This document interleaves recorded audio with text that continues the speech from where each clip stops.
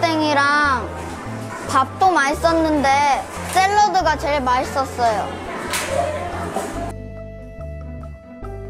저는 원래부터 야채 같은 채식을 하는 걸 좋아해서 오늘 급식 중에 나온 곤드레밥이 가장 맛있었습니다. 처음에는 육류에 대한 선호도가 높아서 잔반이 일시적으로 늘어날 것으로 예상되지만 월 2회 채식 급식을 어, 기회를 제공함으로써 채식에 대한 인식 변화와 섭취량이 점점 증가할 것으로 예상됩니다. 또한 아이들이 즐겁게 먹을 수 있도록 식단 구성이나 조리법 연구가 필요할 것으로 여겨집니다.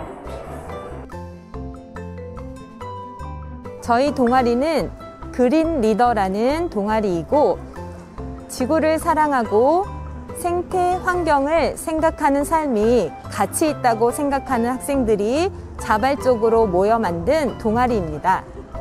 예를 들면 일회용 티슈 같은 것을 사용하지 않기 위해서 천연 염색 손수건을 만들어 사용한다거나 또 이런 텃밭을 이용해서 직접 채소를 가꾸고 수확해서 그것을 먹으면서 어, 채식이 좋다는 것을 어, 알수 있게 한다거나 또는 가까운 산에 올라가서 어, 쓰레기 줍기 자연보호 활동을 하면서 운동도 할 수 있는 플로깅 활동 이런 활동들을 하면서 기후위기의 심각성을 알고 실생활에서 실천할 수 있는 생태 시민으로 육성하고자 이 동아리를 운영하고자 합니다.